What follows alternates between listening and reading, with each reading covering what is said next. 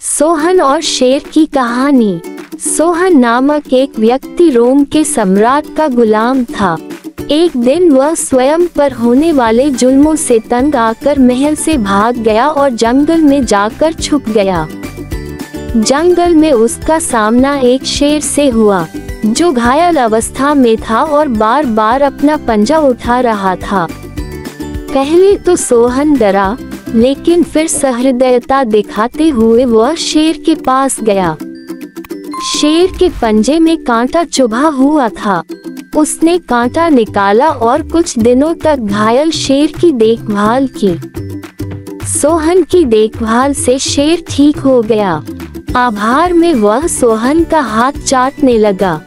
फिर चुपचाप अपनी गुफा में चला गया। इधर सम्राट के सैनिक सोहन को ढूंढ रहे थे। आखिर, एक दिन वह पकड़ा गया।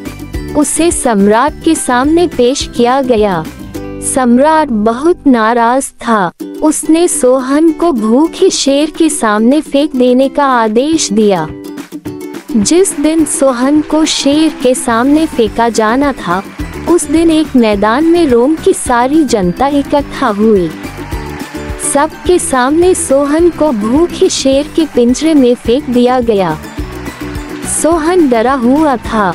उसे मौत सामने दिख रही थी। वो ईश्वर को याद करने लगा। शेर सोहन की ओर बढ़ा। सोहन पसीने पसीने हो गया। शेर सोहन के पास आया। डर के मारे सोहन ने अपनी आँखें बंद कर ली। लेकिन ये क्या? सोहन को मारने के स्थान पर शेर उसका हाथ चाटने लगा।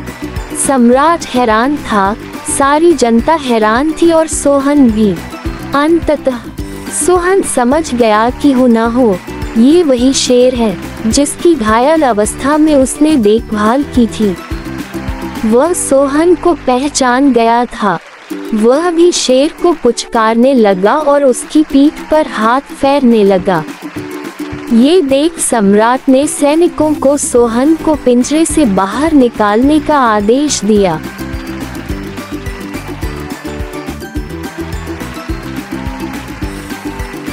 उसने सोहन से पूछा तुमने ऐसा क्या किया कि शेर तुम्हें मारने के स्थान पर तुम्हारा हाथ चाटने लगा? सोहन ने उसे जंगल की घटना सुना दी और बोला महाराज जब शेर घायल था, तब मैंने कुछ दिनों तक ही इसकी देखभाल की थी। इस उपकार के कारण इसने मुझे नहीं मारा। लेकिन, आपकी सेवा तो मैंने बरसों की है। इसके बावजूद आप मेरी जान ले रहे हैं। सम्राट का दिल पसीज गया।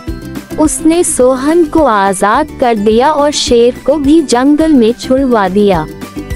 सीख सबके प्रति सहृदयता का भाव रखो, फिर चाहे वो मनुष्य हो या पशु। जो आप पर उपकार करें, उसके प्रति सदा कृतज्ञ रहो। तो दोस्तों, आप सबको यह कहानी कैसी लगी?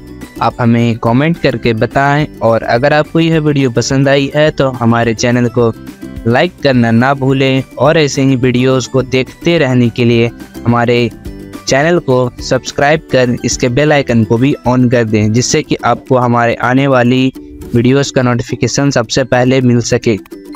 मिलते हैं आपको अगले एक और नए रोमांचक कहानी के साथ। तब तक के लिए बाय बाय